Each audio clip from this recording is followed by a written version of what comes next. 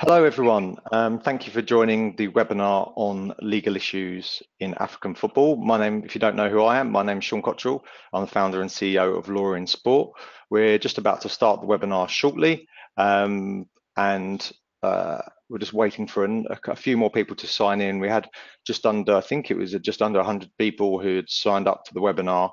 Um, so we always like to give just a few minutes for people um, just to start because um, inevitably they, um, people have some technical issues logging in. So whilst we're doing that, um, I'll first of all, I'll introduce you to um, our speakers for today. So we have uh, Professor Deji Adekunle. He is the um, Professor of Law and a Senior Advocate in Nigeria, and he's at the Nigerian Institute of Advanced Legal Studies. He's an expert in sports law and also um, worked on the UNODC handbook on the confiscation of proceeds of crime. We have, uh, welcome Deji. I'm going to basically Hi. welcome you all one by one. Thanks for joining. Um, we have uh, Farai Razano, who is a director of Maseko, Murphy and Njilo and Razano Inc. He practices and focuses on sports law and entertainment law. Uh, he represents clubs, uh, uh, player associations, associations, etc. Then finally, we have Kelvin Omuojine. And Kelvin, sorry if I just pronounced your name wrong at the end. Um, um, he's a specialist in sports governance. He has experience which includes working in football regulatory bodies in Nigeria on compliance and regulatory issues, as well as being uh, a membership of the disciplinary committee of Nigerian Football Federation. Uh, welcome, Kelvin. Welcome, Farai. Thank you very much. Thank you. Welcome. Um, so these, welcome to our speakers. They're going to be discussing what they think are some of the most pressing issues at this moment in time in African football. Um, I put out just a tweet recently to saying, you know, there's a lot, and Kelvin, I think you did the same. There's a lot to cover in an hour. We're going to do our best. Inevitably, we're not going to be able to cover everything. We've had some questions already from people who have submitted over email, um, but I'll go through the format of how we're going to work for that. Now, to assist me in facilitating the discussion, I have my colleague uh, Chris Bond, who's the editor of Law in Sport. Chris has um, uh, was a, was a law lawyer in his past life, but also is, has edited probably somewhere close to a thousand, if not more now, um, legal issue. Um, oh, sorry, articles on uh, legal issues in sports law globally, and so he'll bring in that that perspective as well, but particularly there. So, Chris, welcome. Hi, hi everyone. Right, so uh, for those of you that, that, aren't familiar with law in sport, our main purpose is to help people understand the latest legal issues and developments from the world of sport. We produce peer-reviewed articles, we do things like this, open webinars, we do private events, we do networking, we've got a global mentoring scheme, which we have uh, 46 mentees from 13 countries around the world, and we do a bunch of other different things. Uh, anyway, that's just an introduction if you're not familiar with law in sport, but it's importantly that our three speakers today are part of our um, recently established African editorial board who are helping us to make sure we can identify the, uh, the important issues that are taking place in the continent um, to make sure that we can address those properly, help and assist and explain some of the uh, developments that are taking place. So that's just to put that in context. The format of the discussion is the speaker is going to start. I'm going to ask a few questions. They will give their perspective on some of the issues they want to talk about. We'll kind of have a roundtable discussion. Um, and at any point, if you want to ask questions in the interface that you have, um, hopefully, if you've got the same interface that, that we have, and I think you do, um, you can either write questions. Um, so already um, some people have responded, so uh, thank you for that. um, who's saying good morning? So thank you, Shikineko. I'm gonna, I'm gonna, if I apologise if I get anyone's name wrong those of you who've joined any law and sport webinars before, I often do, so please forgive me for that. Um, so you can ask questions by typing them in. You can also, we can see uh, all the attendees who are on, and so Equo, uh, we can see that you've asked, you put your hands up to ask a question. So at some point we can come to you. You can either type it if you want immediate response, and Martin's, um, Ember, I can see that you've already raised your hand, and I know that you've already um, uh, submitted some questions. So hopefully that was a whistle stop tour introduction. The thing that you're you know, you'd like to know, obviously, is uh, importantly, is some of the legal issues in African football. So some of the topics we've previously discussed and hope to cover on this uh, will be governance, regulatory issues, dispute resolution, player rights and welfare, and the commercialization and associated intellectual property rights.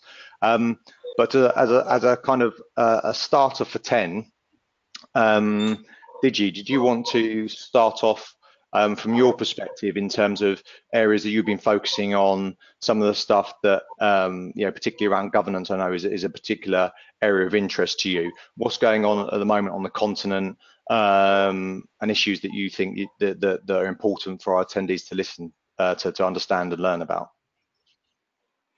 Thank you, Sean. Um, I, I think that um, events of the recent past highlight uh, three, three critical governance issues. Uh, corruption has always been there. Uh, and it seems to me that if FIFA and uh, the collaborating partners uh, consistently harp upon integrity in sports and also the need to have um, fair play and also the need to project sports, positively. Certainly, the issue of corruption and how FIFA and its uh, collaborating associations and confederations deal with it cannot be overemphasized. But try as they would, this issue has not gone away and uh, we see the way it's it's impacting even on governance, particularly the way that um, FIFA has related to again its confederations. Uh, early this um, uh, this uh, this month, we saw FIFA appointing um, the general secretary to kind of oversee the uh, African Confederation. Again, if you look at that, the issues are remotely connected with uh, corruption issues. So that is a major issue. The other issue, of course, is the relationship uh, with governments of national associations. And I, I, think that probably thirdly would be how FIFA itself uh, runs a check on integrity in games and, and, and matches that are being played around the world. And Let so, so, so, for, so I was just going to say though, just for background for people, they've probably already uh, been following this, but we've obviously had uh, uh, Fatma Samoura uh, come in, uh, the, the um, CAF, who the regional uh, body of African football, the governance body of African football, yeah. to oversee that. I think the title, was uh, title was trying to get it up. I think I've got it. High Commissioner yeah. of Africa. I think she's coming as that, and that's partly due to the the former president who uh, is under investigation at the moment uh, for corruption and I think some harassment issues. Right. So um, maybe did you want to explain as well that, that some of the challenges with within relation to governments with that this, you know, I know that we've got some questions on this, but how how you perceive it in terms of, you know, if we were looking academically at rule of law and um, a separation of principles of separation of power, um, how you see this relationship between the um, national associations mm. uh, and CAF um, and the, the, the governments. And obviously, there's we're talking about uh, uh yeah we understand that we're talking about a vast um, amount of countries with different political systems. But uh, maybe you want to talk about that, and particularly around Nigeria and and how that is. And Kelvin, maybe you want to um, you know uh, in, intervene as well. Okay, so um, I look at this and say there are actually two kinds of laws or rules or rules of law, if you like. There's a private law, that's the contractual, the uh, which yes, which is largely contractual, and also private interest. Uh, uh, and and I say that FIFA statutes and um, the statutes of national associations are very part on that in terms of non-interference. So they can agree amongst association members that if you want to do things, this is the way you do it. If you want to vote, this is the way we vote. If you have a grievance, this is the way you need to um, ventilate your grievance. But over and above this, there is also the general law, uh, criminal law, for instance. The issue of criminal law, the issue of um, public laws in terms of constitutional rights for people, the issue of employment law. There, there is a tension in employment law, but as far as criminal law and constitutional law is concerned, uh, I believe that uh, the ordinary courts have certainly uh, rebuffed any notion that uh, disputes cannot go to court. Now, what has happened, however, is that within the um, organization, that's between FIFA, CAF, and the national associations, pressure has always been brought to bear on any errant member that tries to invoke outside or external uh, adjudicatory bodies for disputes like this. But the, the jurisprudence that has flowed from the courts has been to say that the courts certainly have a right to wade into this, particularly in criminal law. I mean, so, so, so one, law, one, so would I be correct in saying then that the, um, from your perspective, there's this tension, and it's something we discussed at, the, at our football law conference. We had Sarah Samal, who is um, uh, who is um, looks after member associations for Africa at FIFA, and she talked about this that the, the, you have this situation. So you're saying so in Nigeria, so the courts have recognised, you know, that you you know you still got the right essentially to go to court, but due to political pressures um, within would that be both within the football family and politics more broadly? Um, they discourage that type of action. Um, so therefore, it just remains, as we would say, in the in the in the let's say football family, right? So mm. uh, and therefore that that that creates a um, uh, a lack of access to justice, let's say, or um, a lack of uh, scrutiny. That'd be correct? Okay, yes. So it's I like I like that phrase, the football family. So the pressure is really from the football family. And this is what they are saying. You signed up to something. You signed up to a charter to keep disputes out of public space and subject yourself to the various judicial panels and the various mechanisms under the statute. And so you uh, you have a duty to keep to that. And so that's between that's why I said it's largely contractual. It's largely contractual, more like a club uh, membership thing. But as far as the courts are concerned, especially where it now involves somebody who is not really bound or who is not a member of the family, the courts have generally said that um, they will not um, stay off simply because and, it involves um, uh, some matter or some quarrel within the family. And so um, now I know that from so for I, from a South African perspective, it'd be interesting to get to see how, how you know, looking at, particularly if we focus on, say, Nigeria and South Africa at the moment, and then we can bring in other areas as well. Uh, I, maybe you also want to talk about how that compares to how uh, sport and particularly football is set up in South Africa. And then, Kelvin, we can come back to you because obviously you've got a very interesting take on this one from a first-hand experience working with the, the Nigerian Football Federation. So, Farai. Uh, uh, thanks, thanks, Sean. Uh, I agree with Deji largely when it comes to that division of private versus uh, public.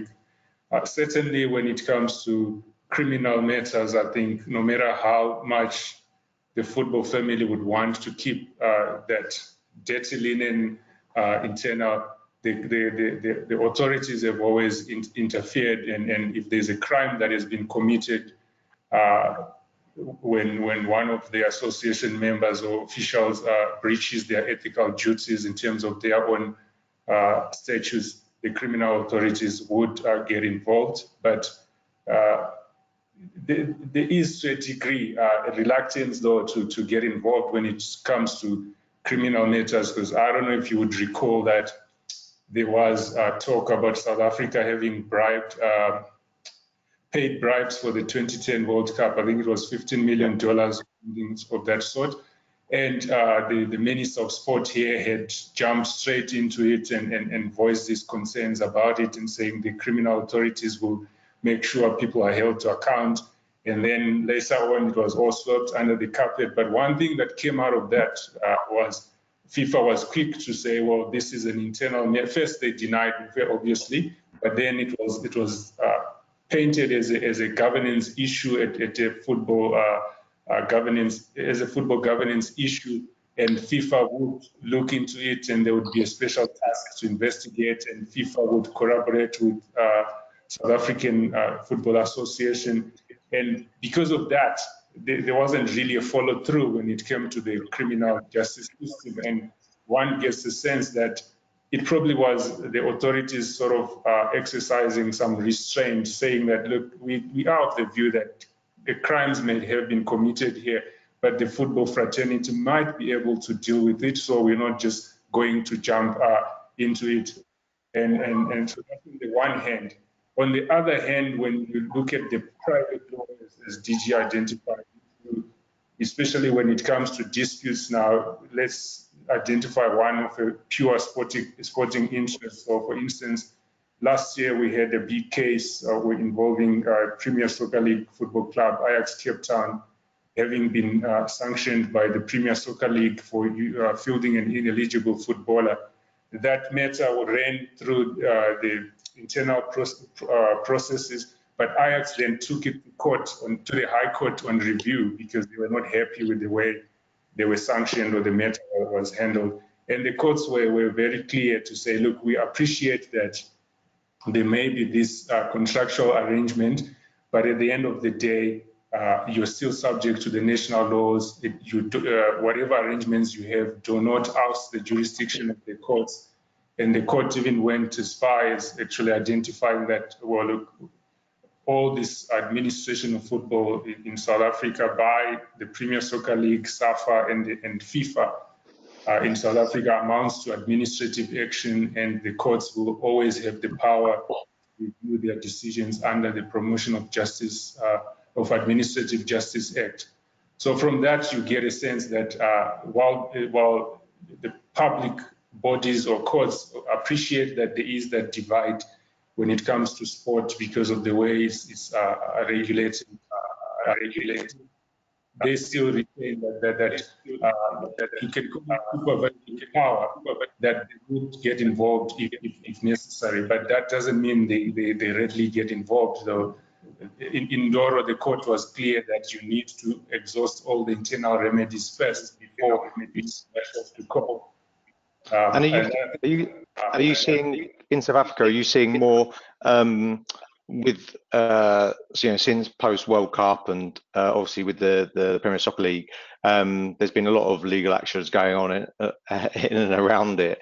Um, are you seeing that the, the inevitably as there's more money coming into it and, it, and it's starting to professionalize more that they're then starting to the um, let's say the legal infrastructure around it and regulatory structure around it is starting to be is that indicative of that being tested more certainly i, I think uh, we, we, from a south african perspective you have to divide the, the professional football and football in general i think professional football has always been sort of at the forefront when it came to uh, these uh, regulatory issues having the structures in place they've always had uh, a disciplinary, uh, a vibrant disciplinary processes, I would say.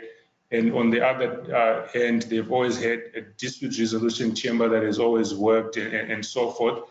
Uh, so the World Cup uh, would have accelerated that because obviously it, it, attracted more attention to, to football as a sport. Uh, more money would have come through as a result of, of, of, of, of the World Cup. And from a from a disciplinary process, I, I, I haven't seen uh, a, huge sort of growth in that because I think it's a purely internal matter sort of thing. But from a uh, contractual side, where with clubs and, and players and so forth, where you now sort of bring in the, the public laws, employment laws, and so forth, uh, I think there has been a, a, growth in terms of the disputes around it. The World Cup brought up some vibe that sort of enlightened everyone about their rights and so forth. And so there has been that growth, especially on, on, on the uh, contractual private side of it, private side of it. On, on the and, and so and for those people that aren't familiar with, um, there's been some developments in sort of the, the structure of, South African football, I believe. Did you just want to, um, before we come on to Kelvin, and then getting your take on sort of what's going on in Nigeria, and then obviously, um, well, not obviously, but you know your view from like what some of the challenges are and how we can address some of those challenges around governance. Uh, Farai, did you want to um, just articulate sort of what's going on about who owns the clubs? The, you know, how does the, the the club structure work within the the national association? Okay, so so at, at, at, the top is the South African Football Association, uh, which, which, is which governs all football in South Africa, and then and, and then they have regional members. I think there are 52 of them, and so forth. Uh, and then on the other hand, there's the Premier Soccer League, which uh, is a special member of SAFA, and they regulate professional football. Uh, and I must say, there's there's always tension between the two because. Premier Soccer League has more money uh, than the South African Football Association. And I understand as it stands now, there are some other sort of uh, regulatory issues where SAFA has brought in a sponsor for referees. So referees have now advertising on their shirts when they are refereeing Premier Soccer League matches and they advertise as a competitor of the Premier Soccer League and, and, and the Premier Soccer League says, hey, but you can't do that because you're infringing on our sponsors' right. And they say, no, no, we regulate football in South Africa. We have the power to do that. And, and, and that's an ongoing dispute. It will be interesting to see where it ends. That could be really interesting to see. Because yeah. that's the, the, one of the one of the if you look at the sort of, sort of wire sport, know, whether it's in America, the Eurocentric, let's say, sport, it's obviously um, the its growth and popularity and money, particularly in football, has come from media rights, so the selling of, of access to to view the the um, football, uh, whether it's now over the top platforms or, or traditional broadcast means, and obviously the associated sponsorship becomes more and more important. So it's going to be really interesting to see how uh, in each jurisdiction in Africa they they're going to deal with this tension because you know we talked about this briefly, and maybe we can come on to uh, Kelvin in a minute, but you know the, even just the concept of intellectual property rights and um, how they're enforced um, is, is not necessarily always how, how you'd expect it to be. Certainly, certainly, it, it's it's it, it, there's always that challenge where, especially if in this context of the hierarchy, where the one says we are responsible for all football in South Africa, you are sort of subordinates to us. Maybe before you even contracted with your sponsors, you should have sought uh, consent from us and so forth. So that's that's that's on the one end. And when you come to the Premier Soccer League, structurally, uh, it's it's an association of all the clubs that make up the league. I think there are 32 of them, 16 in the Premier Division, 16 in the National First Division. But then it's governed by an executive committee, which is basically uh, elected officials of the football clubs, which also brings on its own tensions when it comes to uh, conflicts of interest and so forth, because chairmen or officials of the various clubs are elected onto the eight, I think, eight or nine member executive committee. Uh, and that brings its own issues. And I'm sure Deji would, would be interested in commenting on that when it comes to conf- conflict of interest and whether you know they can be really independent when, when they exercise their duties. So, so maybe there's, uh, you know, let's get let's get let's bring Kelvin in. But then, did you just come back to you on that conflict of interest point? Because I think that's one that in the broader, worldwide and global sport, uh, and particularly football, is consistently brought up as a as a real problem uh, about how we address this because it's such a small um, sector really. And you know, you know, as I said, the family word, but like, yeah, everyone knows each other, so you end up inevitably getting when you've got a small pool, pool of people you're selecting from. This issue of conflict always comes up. Um, Kelvin, from your from your perspective, obviously you you've like heavily focused on all the uh, commercialization of football, and obviously Nigeria's got a huge population, and it's been identified by FIBA um, and the NBA as one of the you know the, the nations to include in their new um, African Basketball League.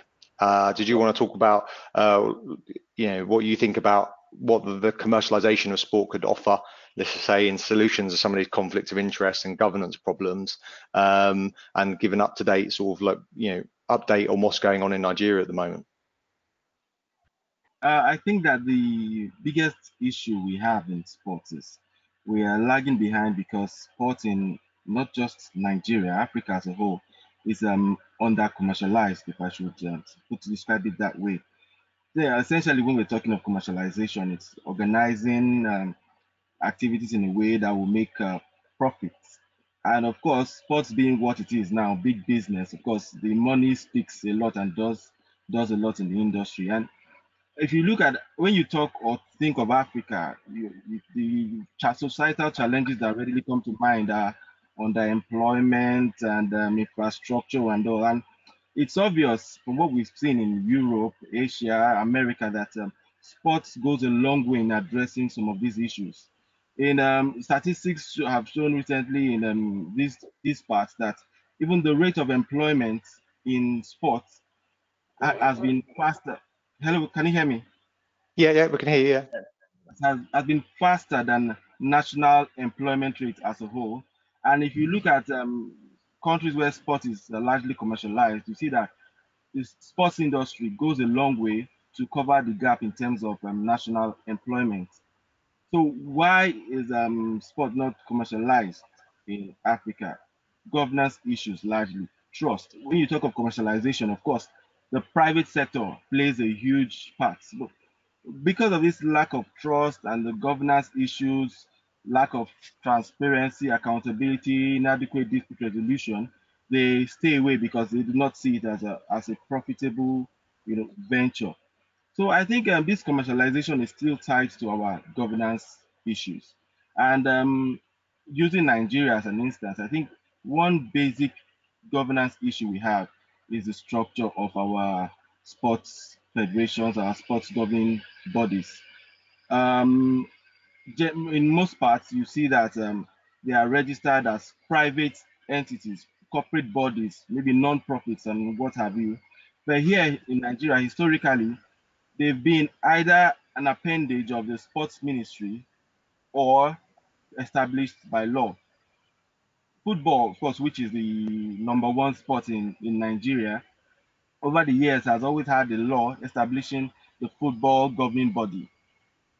The um, before we had um, Decree 101, then we had the 2004 Nigeria Football Association Act, and recently the National Assembly passed into law what is supposed to be the Nigeria Football Federation Act. And then um, one question I ask is, we have a law setting up the Nigeria Football Federation. How come we do not have a law setting up the Nigeria Basketball Association or the Nigeria Cricket Association and what have you? So we need to really sit down and address these issues because you want sports to go holistically. And I, I just think basically the stakeholders in the respective sports need to you know come together, set up a corporate body, either limited by guarantee for profit or non for profit. Because when you have such private establishments, it goes a long way in improving their structure, the efficiency, and what have you. And once this is addressed, you see that private sector comes in, there's a boost in um, investment, and generally everything kicks off, and you have the commercialization. And would you say that the and Chris, sorry, jump in if you want to ask any questions. But the um, and sorry, by the way, for those of you who are watching, uh, Kelvin is not Chris. He's not on twice. um, it's, it's, just the the link that was used was uh, has got confused with the names. So apologies for that. Um, but we talked about this before and, and you know one of the, the, the the pressures that could be applied let's say hopefully positively from commercial partners could be to improve the governance standards and create more accountability. It would seem to me that you know if you're investing in the sport you'd want more legal certainty right? So uh, particularly within football. Now i know that there was some issues around um, say for example i may want to touch on this and this whole conflict of interest point the things that could cause problems. Obviously there's um, uh, and we've hopefully got an article coming on this, but uh, the VAR issue around the um, the African Champions League, um, you know, and how that was dealt with. There was seems to be, um, from an outsider's perspective anyway, uh, they say just a slight bit of tension there, and um, uh, so I'm not sure if anyone would like to pick that up, but I can give some background if that's useful. But would anyone like to sort of discuss about how that was was, was kind of uh, is being dealt with and what the perception at least was was um, in terms of potential conflicts? Yeah, I would think that with issues um, such as VAR, it flows from the international governing body. We see FIFA in football using um, VAR widely in their competition. So it's only apt that down to the confederations and even national federations, Spain, England now, and sometime in the not too distant future, hopefully Nigeria, would adopt it. I think um, VAR is about balancing integrity of competition and then, of course, the entertainment value. Because some people have the impression that, look, you want talking points. Was it did it cross the line? Did it not cross the line? And the controversy keeps people talking even after the game. But then again, from the sporting perspective, you do not want to lose a game that you should have won. So I think it's about this balance. And um, for me, what is supreme is the integrity of the competition. You know, what, what I noticed from um, VAR is by as the referee is watching the replays, you could nine and a half times out of ten know what his decision would be. That is if you understand the rules specifically and objectively you could so i think that objectivity is invaluable. So long as um along you so, don't um yeah? So so what happened though in this sort of situation with was it Wydad is it is that right how you say it? Wydad is that we correct? yeah um uh having this um uh situation um where um the I believe there was a review of the VAR. The VAR official wasn't there or didn't. I can't remember what the exact facts are now. Um, maybe Farai, maybe you want to talk about this. And then it went to appeal, and then basically, or the executive, I think, reviewed it, and then the executive of CAF made a decision that the game should be replayed. Um, was that was that is that the correct? Um, so hopefully, I'm giving the correct assessment of that. Before I what like is in, I think there was some issues you know, from one of uh, your colleagues in South Africa was raising some questions about you know whether or not that was um, basically whether you could entrust given all the corruption issues that have taken place and the, as you were talking about the political maneuvering of officials and we see this within Europe we see it all over the world in terms of sport is used often for political gains uh, uh, you know, can, can, you trust that system? Is that something you've got faith with? Is that something that needs to be reviewed more holistically? Are there, you know, coming to a question from Martin Zemba was like, you know, should there just be, you know, throughout like people committing to like four key principles of good governance, if you see what I mean, as a as a driver for uh, positive change? Farai, so I'm addressing that to you. yeah, it's yeah. So you, you are right, uh, Sean. In, in, in, particularly with this VAR thing. So what happened there was that match uh, between uh, Wydad Casablanca and Esperance. There was supposed to be uh, VAR equipment at the match. Uh, unfortunately, this is the story we are told. We, we don't know whether that's true or not. Unfortunately, the equipment never made its way onto the plane and then it never made its way to, to, to the game. And, and then there was a controversial decision during the, the game, which uh, Casablanca were not happy with, and they walked off the pitch because they they believed that there would be uh, VAR on the day. So so naturally you would say, okay, let's refer it, and then would say, no, no, but there's no equipment, and they were not happy with that. They walked off the pitch. And naturally, you then expect that the laws or the rules are followed because the, the laws of the game are clear. What what happens when situations like that happen. I mean, the referee has the final decision. He he called off the match, and uh, Esperance were, were, were then handed the, the, title, and they were told you've won because the game has now been abandoned and so forth. They, they were given medals, and everyone went home happy. Uh, uh, but but what happened in that case, which is the governance issues, you saw the executive walking onto the pitch trying to solve the issue, which in my view is, is not their place to be. They should have just left the referee decide uh, and, and, we carry on. They walked off the pitch on the pitch. They tried to solve it, didn't work, and eventually Esperance were granted the title. But then weeks or a week or two later, we heard that no, no, there was then a CAF uh, executive committee meeting uh, in France there, and it was decided that this match is now going to be replayed. And, and then you ask yourself, uh, where do you draw the line? I mean, traditionally, all football or sporting uh, governance issues, you would find that tribunals or even the executive committee does not get involved in refereeing issues.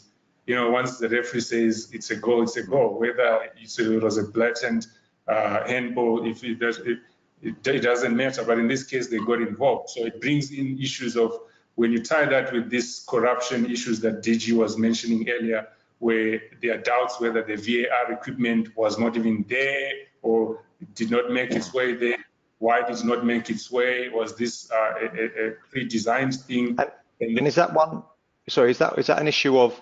Um, I'm going to come to. So I think Equo uh, has put their hand up to ask a question, and, and, and Martin Zemba, if you, I'm going to turn your mics on in a minute so you can ask a question.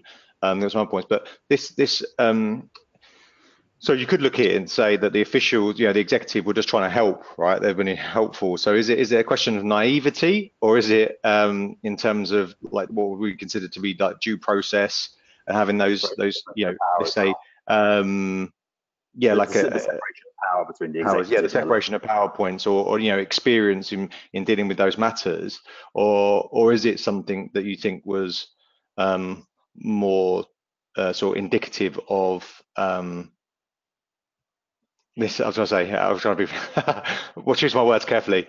This is improper conduct. Yeah.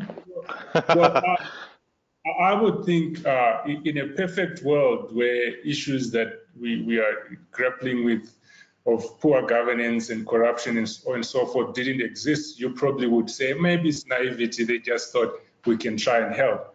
But in this context, I think it's a, it's a, uh, a lack of appreciation of the governance roles they play, a lack of appreciation of the rules, uh, and more importantly, probably a lack of appreciation of uh, what their powers are. So in this case, you'd have thought the CAF president thought, I'm the president, I can walk in there and tell them this is what's going to happen. And they would they would deal with it. That's that's basically what it is.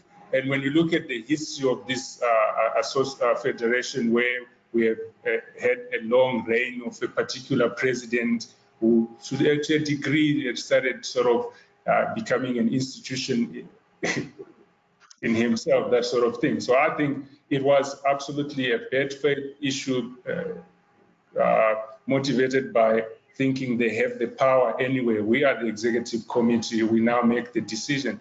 Because then if you follow that through with the second decision to then say, okay, we are now going to replay you know, so if you think the first decision to walk onto the pitch was a mistake, we didn't know what was going on. The referee then said the match is over, uh, Esperance have won, but they went again and still said no, no, it's now going to be replayed. So, so it's really, it's really interesting, DJ. I'm not sure if you want something to add, but I think if do you have anything you wanted to add? Yes, uh, quickly, just to say that, um, well, that that's what happened there someone called it governance assisted refereeing because really um, it, it's just a lack of appreciation of their roles. The rules already had established what should happen if a walkout occurred.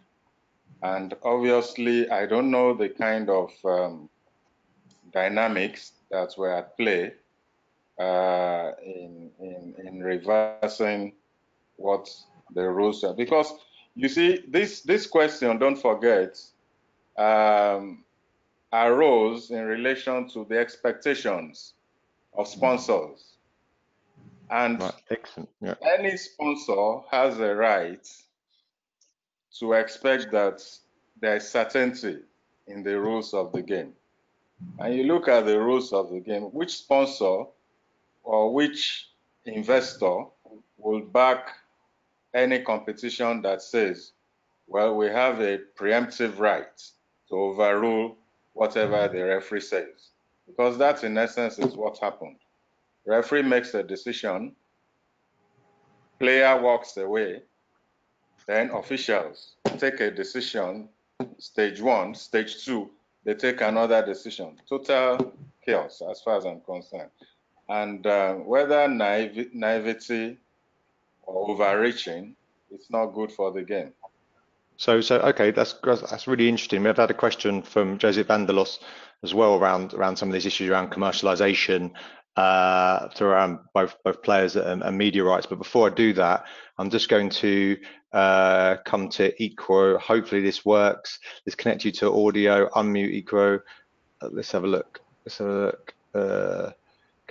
Uh, hopefully, so Equo, you can, if you're listening, I hope I'm saying your name correctly. If you can, uh, I've unmuted you, so you should, in theory, be able to turn your microphone on and ask a question if you would like. There we go. Yeah, your mic's on now, so you can ask a question. I've been really enjoying this. Thanks. Um, in, uh, my question then is, um, you know, indisputably that the largest concession to FIFA by the member association is authority over their um, executive affairs, i.e. to remove the executive um, um, um, body of a member association and replace it for a specified period with a normalization um, committee. So the question then is, what if the normalization committee also fails? Because what is happening in Ghana is that normalization yeah. committee is asking um, um, um, citizens, since the government cannot support them, to dole out say 1.5 million to help with with with, with, with um, to support the Premier League um, teams, to help manage it, to help bring them up, to help in the payment of these players in the whole of. But my understanding is, is FIFA is a private organization, and apparently you can't ask me as a taxpayer to contribute to the, the FA in its running. So, so the normalization committee, as a, uh, I think that keeps failing, but FIFA keeps extending the period for the normalization um, um committee. So, so, as, so, so brilliant. So, is there a, is there a question though? I think that's a really great topic of discussion, the normalization committees, and we I said we had uh, uh, Sarah Salamali from uh, FIFA talk about this to a degree about the limitations of a private entity and what influence exactly. they can have. Um, but so, but uh, so we can talk we can definitely talk about that i think a little bit more Def, definitely some bits there worth discussing um, is there a, is there a specific question though within that the, the, the question then is um, if citizens are saying that the normalization keeps um, failing what then do FIFA extend the mandate of the normalization committee? Because as of now, they are also um, embroiled in corruption activities, and it's apparent match fixing are going on a whole lot. So, as a citizen, what can I do about it? Because FIFA keep changing the members of the normalization committee, keep extending their, their mandate. Okay, okay. So, so, so what happens? So the question would be then, what happens if they normalize? Well, there's two questions I think from this.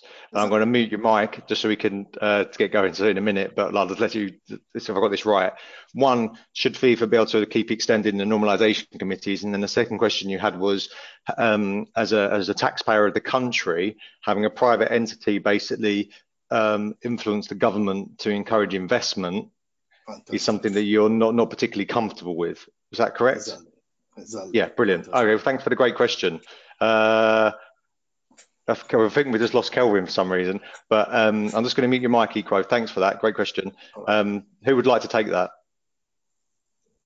Well, let me let me uh, try to understand this. Um, these uh, committees, uh, from inception, were never meant to be permanent.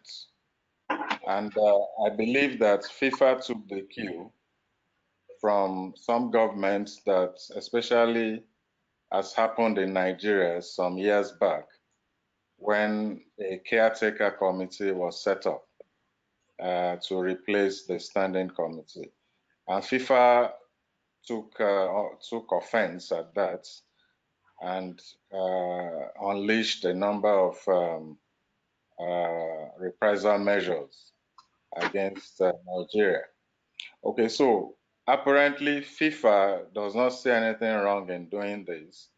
And uh, the truth of the matter is that it's, it's, it is like uh, uh, Echo said, this should not be a permanent thing.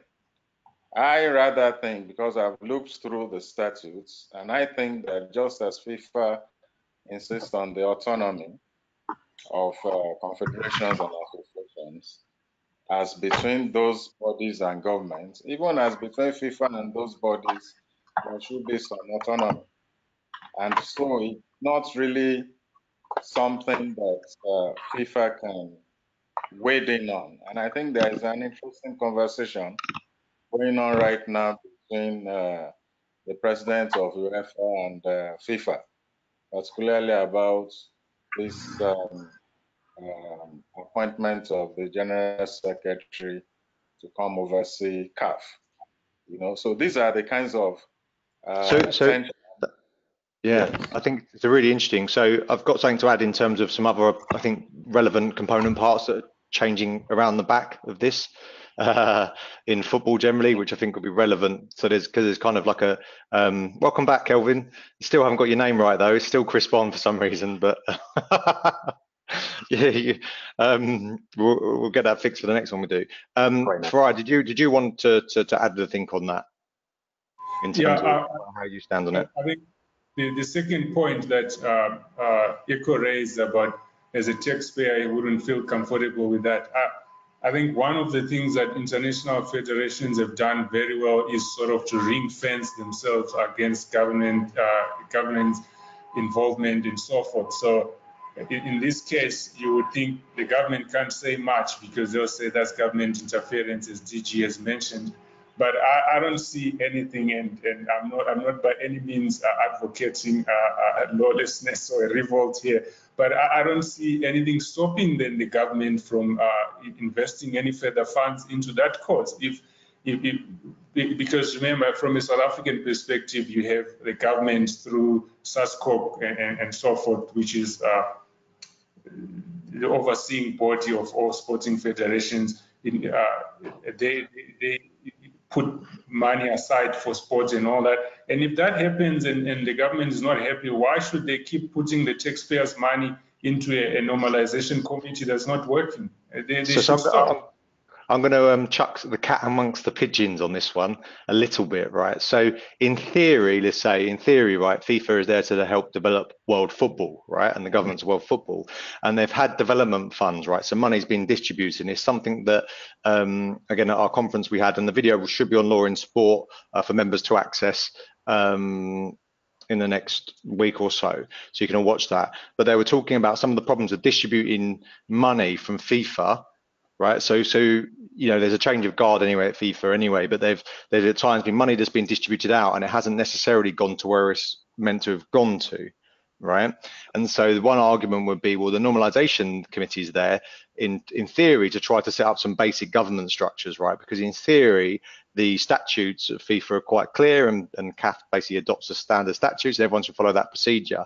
And if you're going to get any money, then you have to meet that criteria. Now that tension between, and I think this is you know something to bear in mind with other industries as well, that tension between where you attract investment or you know get funds for development, and then how you match that is is one that I think is it creates a real tension, particularly with either past conduct or this um, you know uh, autonomy of small autonomy of sport um, particularly football argument. I'm not sure. I'm not sure what the right answer is, but um, I just think it creates this really live tension. The good news is there's, which I think good news in theory. Let's say again in practice, we'll see how it works out. One, FIFA committed to human rights, so there's a now a huge obligation. In, again, in theory, for them to, to, as a private entity, to meet what other businesses have done, that's going to have a huge impact, I think, on these type of activities. Um, we've done some, we've got some updates coming on this as well, webinar on this. Um, their ethics code has changed and become much more robust. So that will have an impact. I think the question for national governments, it would seem to me, and, and for, for, for ECRO and, for everyone else, would be to what extent does everyone in their local um, uh, jurisdiction uh, want to influence and have government influence on sport and support with sport, and no doubt it'd be an evolutionary process like it is everywhere. But I think that's maybe that's something in terms of maybe we can do a topic on that in terms of what what should that balance be in terms of you know uh, sport for development and so forth, um, development of sport. Great question, Ikro. Um, going back to the one from uh, Joseph. Um, Joseph basically was arguing, basically in his experience, clubs and players are not basically getting the, the money that's being distributed down from from media rights as you would see in Europe and in the US, for example, where you you've got sort of more certainty. Other we we we talked about this in the past, where you know uh, in Nigeria, for example, you've got Nollywood, uh, this massive like sort of media um, uh, distribution network and, and output. You'd think that you could create a sports product that could um, uh, be distributed on uh, on media. What's the what's the sort of issues around piracy? Um, you know, what the sort of you know your view on on the, on the sort of commercialization of media rights and how that is distributed. And, and I guess you could add in sponsorship, how that is distributed down between the clubs and then onto the players. And maybe we can get onto some player rights stuff as well, um, which I think is very which is very very important. Um, who wants to take that in terms of maybe Kelvin on the commercialization side? How do you see the media rights sort of landscape, the commercialization of media rights, and then that sponsorship? We can maybe come to uh, Farai and then uh, DG. Okay, uh, what I'd say is, as um, players, clubs, the only reason why they would want a share is because they are stakeholders. And um, you are a stakeholder, you need to have a seat at the table to be able to, you know, put pressure and have an influence. But it still goes down to the setup, the structure of our national sports um, federations. First of all, players' union, how, how effective are they? The club bodies, how effective are they? Not just in the day-to-day running of the leagues, but also in the decision-making process. When you are electing uh, president of the Nigeria Football Federation, you know, the clubs, what number of votes or what percentage of votes do they have? The players or their union, what percentage? Do they have members on the board? These are lacking from the setup. That's why I feel if um, our federation should consist of private, uh, the stakeholder, private stakeholders coming together to register as a corporate entity, I think that would go a long way in addressing these issues. The players, the clubs, they would have their representatives on the board of the federation who will be able to push push for this because now they don't have um, much of a say. That is why they they are lagging behind. I think that is just a summary of it. Uh, and so, so we've got some actually on this point. I'm not sure if anyone else wants to come in, but there's some some interrelated questions that have just come in from people, which I think tie into this. But uh, Farai and, and Deji, did you want to sort of talk about this as well, or uh, you know, I think Farai, I know that you've got an interesting perspective on this, um, and Deji, uh, you know, I'm not sure if, if you want to add to this.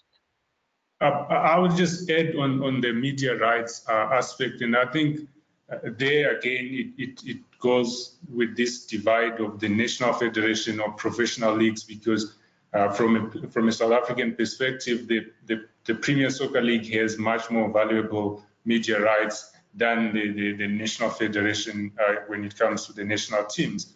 And I think they've done well. They, they've got uh, very good uh, broadcast sponsorships in place. And, and, and when one follows follows the history of that, you'd see that uh, the more the, the, the broadcast uh, rights are going, the value is going up, uh, and the, the, more money they are getting from broadcasters.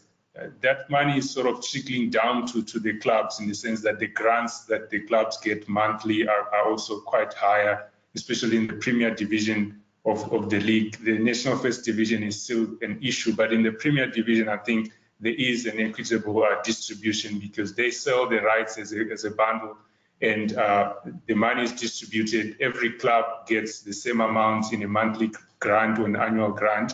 And that has to a degree trickle down to players where you start seeing salaries of footballers also slight, getting slightly higher. And when you look at their image rights sort of thing, some clubs do pay uh, image rights uh, that are lucrative to footballers, mainly because they know they're going to be on TV week in, week out, that sort of thing. So I think from a from a professional league perspective, that has happened. From the national federation, I don't think there's much there because most of their games are not televised anyway. The leagues that they run is uh, to some degree in, in, shambles. So I don't think there's there's much that has happened there. And so on this point, though, so so we got a question in basically in related points, and we've talked about this in terms of respect of image rights. I know from the um, uh, Tom Vernon from the from Right to Play was telling me that some people uh, basically he's got an academy in Ghana, and uh, he was saying that that sometimes agents will basically tell people that they are um, that they've acquired the image rights of a player right? And the the player they've never known they don't know this person. They said, look, we set up a company, we now own your image. You now need to give us X percentage. And we talked about this in terms of uh, players uh, not necessarily understanding their commercial value in South Africa, where people were letting people use their image all over the place when they were just a developing player, and they come on to be like sort of a top national or international player, and they've already like given permission for people to use their image because they were um, uh, happy to, I think you said like happy to just basically receive the acclaim. Would that be correct? Is that a sort of correct assessment? I would think, uh, especially when you come from the development side, uh, the starting point for most youngsters is is the fame, not not, not the fortune. They they're just quite happy to be uh, everywhere on the billboard and all that, and I'm famous. But by the time they realize that from that fame should have uh, they should have derived fortune, it's too late because they have, as you've said, granted those image rights to their intermediaries or agencies or, or, or somebody else. And that, that's the one aspect. Then the second aspect, which I think also leads to that, is people try to follow the European model where for, for tax purposes and so forth, a separate company or entity is, is, is, incorporated, it holds the rights, but they don't quite understand what that means. So half the time, the, the agent acquires those rights and, and they say, well, the player, the, the amounts will be paid to the agent and then it will be paid to the player and all that. It works well when the marriage is still fine, but when it's now uh, in the rocky uh, periods, then it becomes an issue because remember, when the player terminates the intermediary uh, contract or the representation agreement, there's still a self-standing image rights agreement, and I think that uh, the, the, the Rooney case many years ago, that's the same thing that sort of keeps happening here, that people don't really, as a starting point, understand the value of their of their rights, and then they also don't really understand how to exploit them properly. They then get involved in these schemes that, in, by the end of the day, they also don't benefit uh, uh themselves. So, so that so that's interesting as well because if you remember, there was the Mo Salah situation with Egypt as well, where they were using his the Egypt, Egyptian FA were using his image all over the place uh, without his permission, basically. Um, I know I remember there, there, was a lot of issues around that. So the, the question, so I'm just going to run down a bunch of different questions, uh, just because uh, we can roll on for a, a little bit longer, but I'm, I imagine other people have allocated an hour and they've probably got other things to do. Um, Sakiko I'm so sorry if I'm getting any of these names wrong. Uh. Uh, it says, in terms of commercialization, which I think is the point we discussed, what do you think might be the challenges when professional players adapt the concept of becoming a brand, which, which I guess you, uh, you know, talked about this, the, the image rights. Um, as you compete as a commercial athlete, what does that sort of tension does that does that play?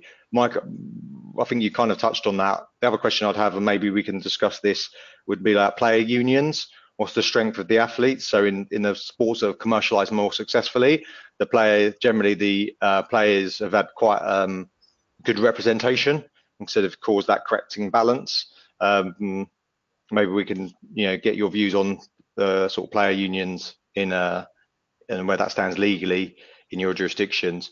Then uh, Kahindi Orochi says governance in governance in African football are, in my opinion, largely born out of the initial dependence on national governments taking the lead in the early days of football development in Africa. A lot of those in key leadership roles in African football today are products of the system and thus found it difficult to allow best practice to rule governance. So it's much more of a statement, but I think, would you agree with that? Essentially, yeah, would you largely agree with that? Um, yeah, yeah, I think it, I think it's um, largely correct. So this is just like I said, it's a continuation of the system. So you need to really change the system from the ground up, from the framework, the whole setup, to effect uh, effect the necessary changes. I guess it becomes difficult when you feel like, you know, we've seen this across sport generally, when people are like, you know, they may, may have good incentives, they feel like they put so much effort in to get something going, they don't necessarily want to step away, like which is sometimes the right thing to do to, to allow it to flourish. Um, Sakikio Windolf, Windolo, I think that's right. One other Dolo, sorry, uh, Sakeko, Sakeo. Um, it oh man, I should have practiced these. I should have been practicing these names quietly in the background. Um, yeah, right, so oh, thank you. It's a ten for effort, I think they say. um, is still logical for uh, right? Is it still logical for FIFA to keep make believe the football and politics have or should have nothing to do with each other? I think this is a great. I think I think this is a great point. Like, as in this tension between you know no political interference and then sport being used politically to do things. And we've got a bunch of articles on that type of topic with, you know, particularly when, uh, say in South Africa, like you had to change laws in order to host the World Cup. Um, what's your what's your views on that? He, go, he goes on to mention, uh, considering most of the issues in the football family matters within the remits of governments, uh, fiscality, fraud, labour, human trafficking.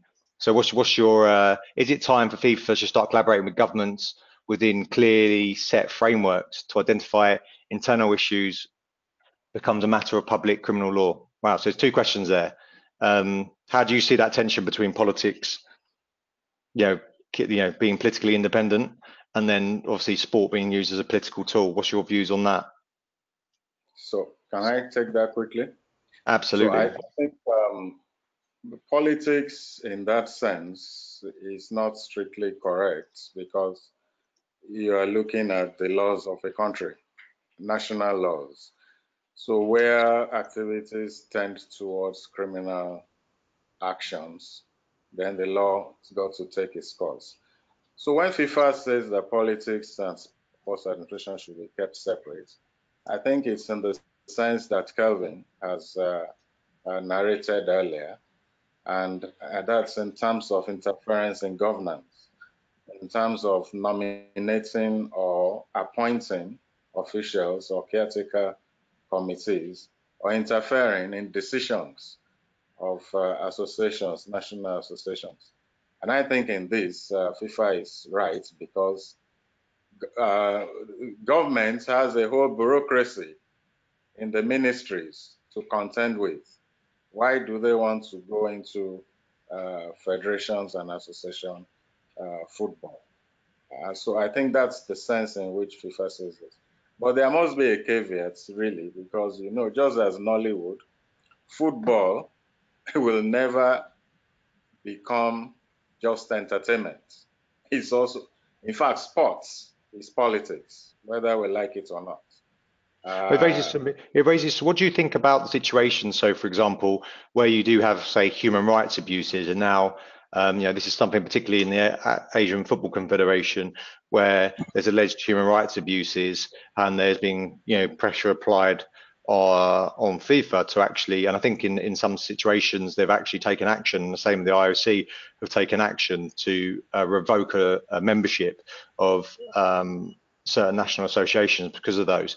That's obviously that's politically. There's, there's a lot of politics involved in that, but that would seem instinctively like a you know, even though it may be permitted in the national law, seems instinctively something that they should be doing. Like, yeah, know, but, think... but regardless of what FIFA, regardless of whatever action FIFA takes against the association, it doesn't stop that country from invoking its laws against hmm. erring members of the association. You see, okay. that's really within the confraternity you have rules to punish deviant conduct. Yeah. But that punishment usually is not enough for the purpose of the public interest. And therefore, whether FIFA is acting or whether CAF is acting, in terms of crime, the public law uh, still needs to run its course. But that's where, unless there's, but this is, sorry, I was going to say, but that's where there's a tension, right? Because some public laws exactly. infringe on human rights, right? So, so rights, kind of, trafficking, corruption, procurement, uh, yeah. Should we go to Kel should we go to Kelvin and then I'm going to have to I think just for the time we're going to have to do like quick fire and so I have to speak less and let you guys talk more. Um, but the um, Kelvin over to you and then we'll do quick fire questions on the on the remaining ones. Okay. Um, in that regard of football being neutral in matters of um, politics and all, I think um, it's all about I like to use this word finding a, a balance because you must appreciate that sports football is a tool in terms of the enormous potential it has. Take, for instance, society, people are looking for jobs and all, and then you realize that, okay, so many people are gainfully employed in, in football. And then the government will say, okay, we want to create jobs, and football can create jobs. So why don't we use football to create these jobs? Um, you want peace, you want tranquility, and you find that when um, in Nigeria the Super Eagles are playing, everywhere is peaceful like uh, Mandela said, the sport uh, has power to change the world. So it's all about using sports to get to these um, political, social, and economic ends. But sometimes it will be difficult finding that balance. But it's just how you can find the balance that is. But it remains a tool in the hands of politicians, in the hands of government. I'm voting for you, Kelvin. I'm voting for you. I agree with you. That was a, like you should run in an election. That was excellent. no, I agree though. That, that's the truth, and it, it's quite powerful. I think I love that emphasis on on positive, focusing on some positive attributes.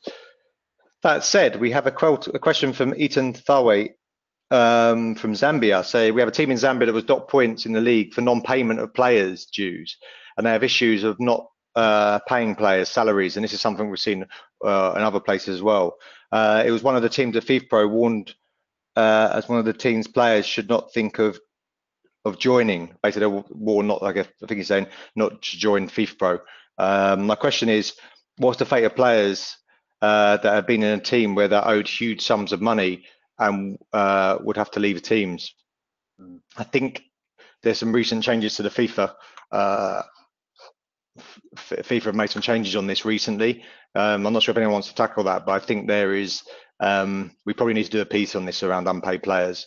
Uh, there's legal action you can take, but again, whether or not people can, is that be? Is that, everyone's nodding, I think, but yeah, whether you can afford to take that action and whether you can sustain a, a livelihood whilst that action's taking place is a, a difficult one. Does anyone want to contribute on that point? So we've got, I think, six more questions. So, yeah. Yeah, go for it, Brian. The issue of non-payment, the, the fact that you're not paid in itself is a breach of contract, which yeah. uh, I would imagine by any standards of any laws, you you you can uh, terminate that contract and, and move on. But the essential point here is, uh, as you say, Sean, FIFA has now uh, laid out a specific process or procedure that you need to follow. You sort of need to place them in more tell them you haven't paid me. I think those periods have been extended to two months uh, at most. That's correct.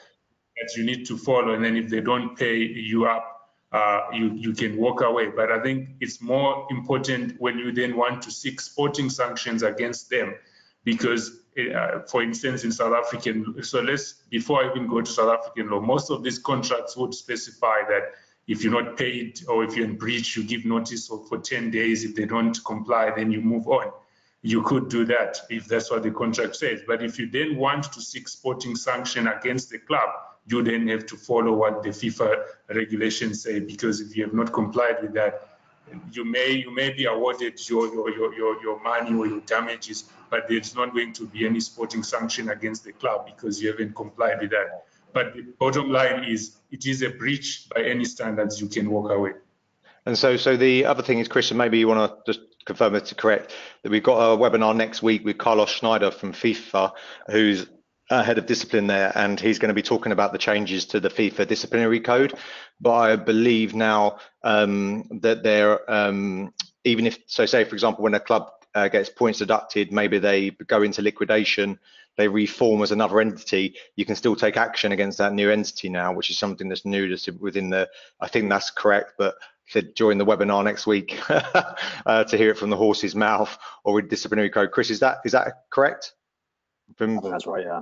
Yeah, yeah, from, from the article, we've got an article coming out as well, uh, hopefully later today, I think, on, on that point. Uh, but it's a really good point about this non-payment, you know, evidential issues as well. I know there was a player in uh, FIFPro representative in, uh, I think it was Zimbabwe, was helping a player who was basically alleged to have been paid, and then they had to go through this evidential um, matters uh, before the Court of Arbitration for Sport. I think it was the FIFA DRC, then the Court of Arbitration for Sport. Eventually, they got the award, and then you have to, uh, you know, get the award enforced. So it can be a long process.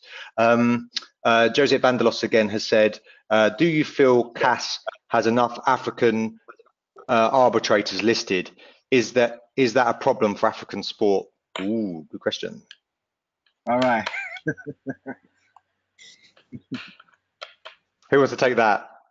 you, you could, yeah, you don't have to give voice of opinion. You could just say, yeah, it'd be great to see more African people on the. Uh, yeah, you can, you, you, can be political about it. I am someone well, who's a. Okay, all right, Prof, good. Personally, I'm someone who's a stickler for for rules. Um, I do not like to reckon too much with um where you're from. I yeah. think it, I don't think it matters too much because the rules are there if over time we see that the rules are being the implementation of the rules are being skewed against Africans as it were, then we would have cause to complain. But, but then again, for whatever it is worth, you could want to look at the number of cases from Africa, the number of qualified arbitrators from Africa, and all of that. But all in all, when the rules are there, whoever sits there is guided properly by the rules. I do not think there's too much to complain about. Uh, okay, and then uh, Farai, do you want to add anything? I think we have to probably we've got so many questions. Shall I just run through all the questions and then we can decide what we're going to pick and apologise to everyone for not doing it because we're we're running over. Um, let's do one person respond to each of these. Let's do let's do that.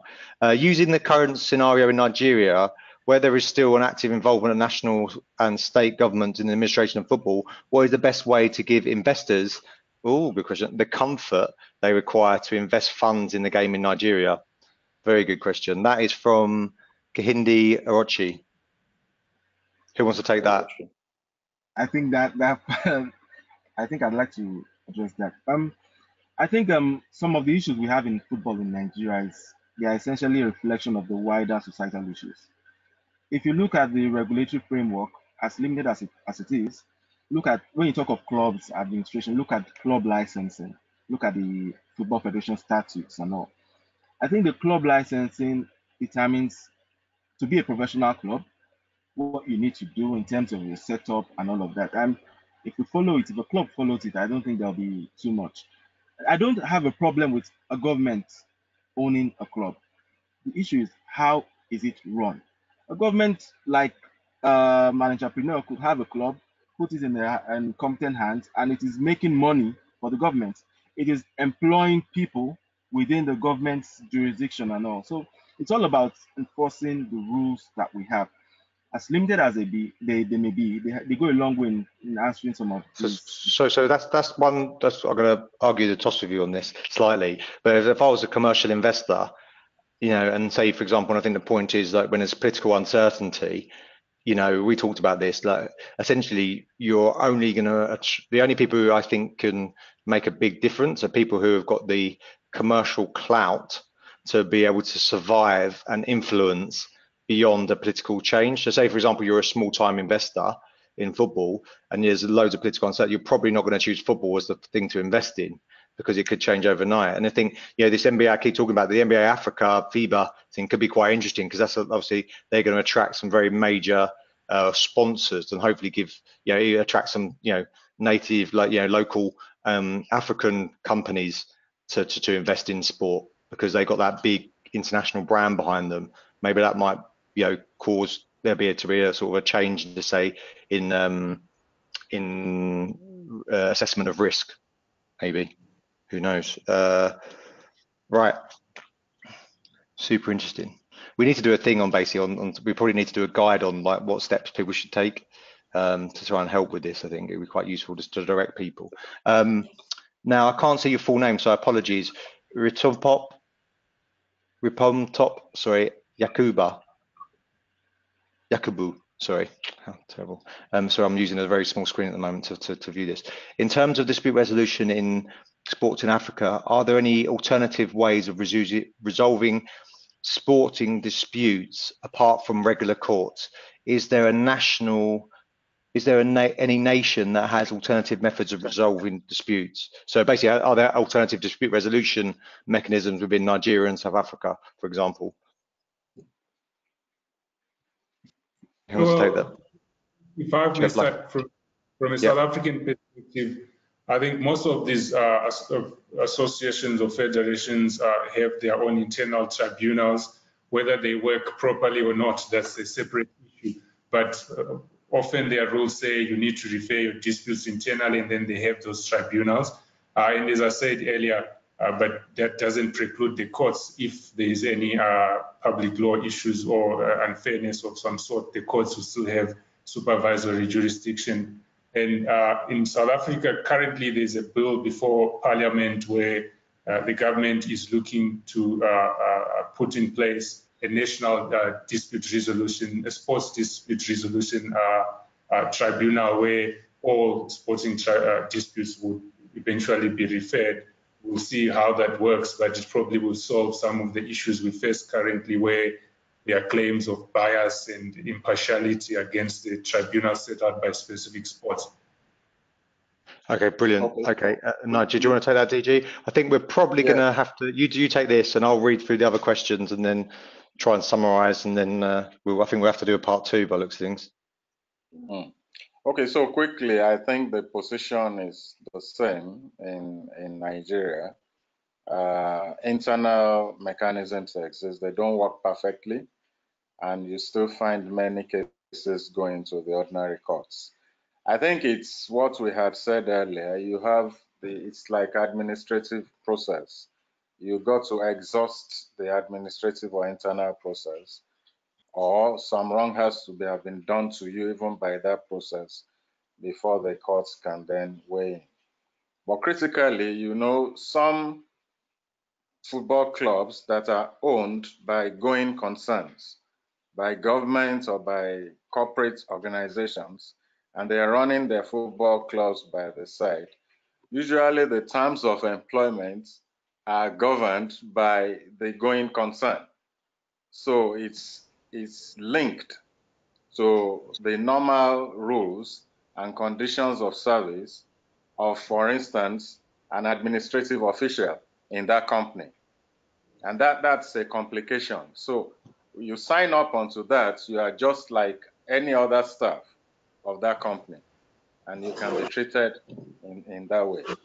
Okay, so um, I think we got so got two, well there were two questions really. One from I'm just looking at to, to, to do this. So so Sakikio Nambaku says your name name is Yakubu. So sorry, like is that I'm not sure if that's me pronouncing it wrong or, or just coming up wrong in terms of the um, how it's being presented. But um, so to come back to, I think I didn't ask the question earlier. What do you think, uh, quick fire, what do you think the main challenges of a professional player uh, developing themselves as a brand? Key challenge, key legal challenges, I guess, uh, for that. Who wants to do that quickly?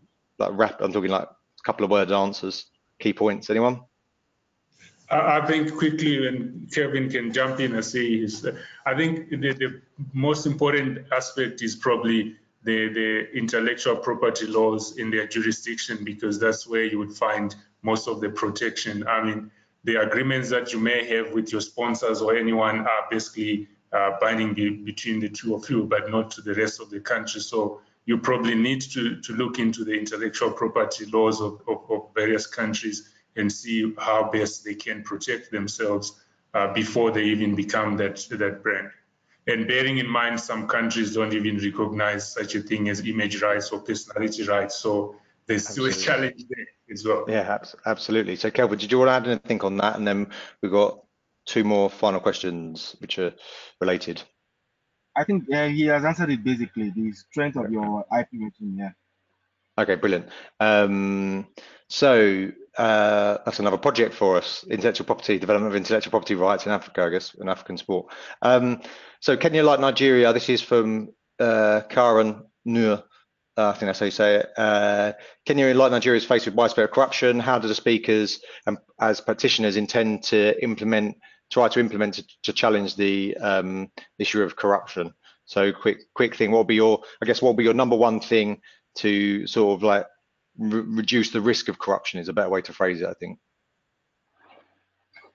well, I, I think um, for for issues like corruption, it is basically to see that um, the laws in place are evenly applied. First, the internal rules, and FIFA has developed rules on issues of procurement, conflict of interest, and so on and so forth. But apart from that, there are external rules, and we've seen, even currently, we've seen officials of um, uh, the Federation uh, currently under investigation uh, by the national anti-corruption bodies. So it's simply enforcement, even enforcement of the rules, and and uh, that's the only way to go with uh, keeping corruption out of the state. Far, far, do you want to ask anything? Say anything? Sorry, on that. Yeah. Your one one top tip, let's say. One tip, yeah. I think uh, it's, it's not always easy to deal with that issue because it takes you back to the issue of uh, governance interfere, government interference in sport. So you have federations that have codes of ethics and so forth. They don't comply with them. Some of those uh, compliance is actually criminal. But when the government says something, the prestigious federation and Kelvin, you're not being attacked by dogs, are you? raining cats and dogs here. literally, literally raining cats and dogs. Um, okay, uh, thanks for sorry for, cut, for, cutting you off there. Um, uh, I just think for time, we've got one last thing was from Sakeo uh, Wondolo um, from Brussels, just basically saying, and I think we touched on this, the issues of, of sort of unilateral imposition of rules by the governing bodies, does that cause a problem for investment?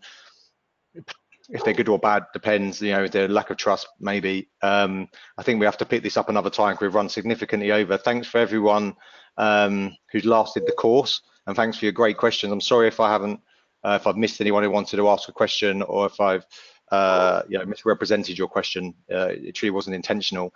If you um, uh, one if you liked what we if you like this if you really enjoyed it please tell people. That's always what we ask yeah, we'll do more of them if people find it useful and engaging, um, but particularly useful and helpful in terms of what you're doing, your work, uh, your knowledge base. Please do just share um, on social media, on Instagram, on Twitter, on LinkedIn. Tell your friends, every, everyone. If there are any other questions, please, I think the best thing to do would be if you email um, info at lawinsport.com if you have any further questions that you think you know you'd like to explore further, um, thank you all for for so many questions. That's awesome. Really enjoyed it. Um, thank you to our speakers. They will do a virtual round of applause. Brilliant. Thanks, Chris. And uh, other than that, um, oh, thank you, Tola. Just said like a great webinar. Well done, guys. There you go. So other than that, I hope everyone has a fantastic evening yeah, be morning, afternoon, depending where you're tuning in. Um, yeah, and yeah, as I said, just please please tell people if you enjoyed it. We'll do more of the same. We've got one later today if you're interested on sort of player contracts and player contract rights um, to do with FIFA regulations and, and stuff. That's at 5 p.m. today. Then next week we have the um, uh, FIFA disciplinary code webinar. And then after that, I think we've got one on human rights that's going to be coming up. And then we've got our annual conference in September in London other than that, um, yeah, thank you all very much. Uh, great chatting with you. Thanks, guys. Really enjoyed that. Thanks for all your support and uh, for your time and input, and particularly Kelvin, given that it's raining and we got your name wrong somehow on the link. Thanks, guys. Bye. Okay, bye bye. Thank you.